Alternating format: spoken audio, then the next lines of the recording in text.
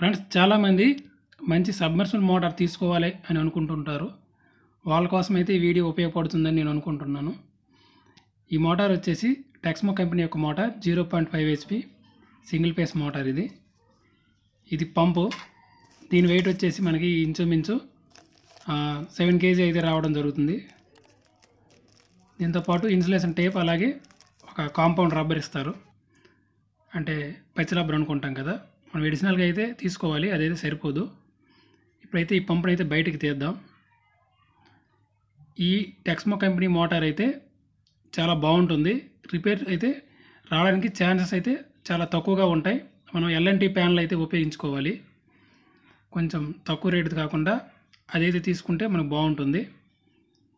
Okay ఈ యొక్క పంపు యొక్క సీరియల్ నెంబర్ కూడా దీనిపైన ఉంటుంది.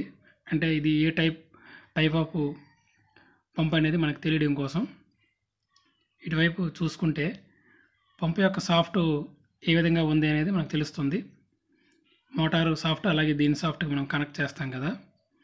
అలాగే ఇంచి పావు డెలివరీ అయితే వస్తుంది. ఆ, ఈ యొక్క పంపు మనం బుస్ ఉపయోగించి ఇంచి పావు టు ఇంచి అయితే మనం చేసుకుంటాం. అది మోటార్ పంపు దగ్గర కానీ పైకి వచ్చిన తర్వాత కానీ మనం చేసుకోవచ్చు.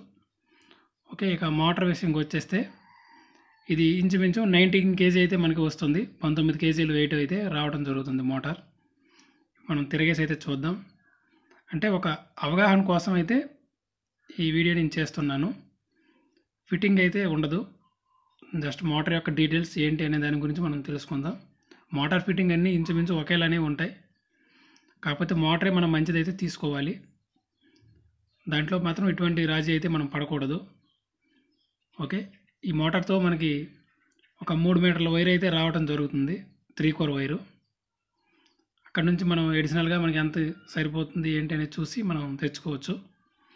ఓకే మోటార్లో అయితే కంపల్సరీగా వాటర్ అయితే వేయాలి. వాటర్ లేకుండా అయితే రన్ చేయడానికి లేదు. ఇక్కడైతే మెన్షన్ చేసి ఉంది క్లియర్గా. మనం చూసుకోవాలి లెవెల్ తగ్గినా సరే మనం మామూలుగా ఉన్న తాగే వాటర్ వేసుకున్నా సరిపోతుంది. చూడండి ఇక్కడ యొక్క దీని యొక్క మోటార్ డీటెయిల్స్ ఇక్కడ చూసుకుంటే ఇక్కడ మోటార్ టైపు ఇక్కడ ఉంది.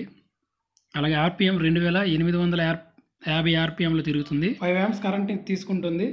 అలాగే మినిమం బోర్ సైజ్ వచ్చేసి హండ్రెడ్ ఎంఎం ఉండాలి అంటే ఫోర్ ఇంచ్ ఉండాలి. ఫోర్ ఇంచ్ ఉన్న బోర్లో ఇదైతే మనకి దిగుతుంది కిందకి. అంతకంటే తక్కువ అయితే కుదరదు. ఓకే ఈ యొక్క కంప్లీట్ డీటెయిల్స్ అయితే ఇక్కడ మనం చూస్తే కనిపిస్తుంది మోటార్వి. ఓకే మనం ఈ ఫిట్టింగ్ వెస్టింగ్ వచ్చేస్తే అన్ని మోటార్లు సేమ్ ఒకే విధంగానే మనకు ఉంటాయి.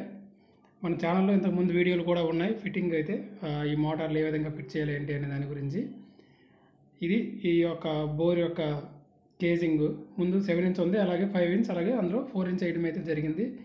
నెక్స్ట్ వీడియోలో హెచ్డిపి పైప్కి ఆ నిప్పల్స్ ఏ విధంగా ఎక్కించాలి ఏంటి అనే దాని గురించి అయితే కంప్లీట్ వీడియో అయితే ఉంటుంది. Okay friends thank you for watching. Thank you.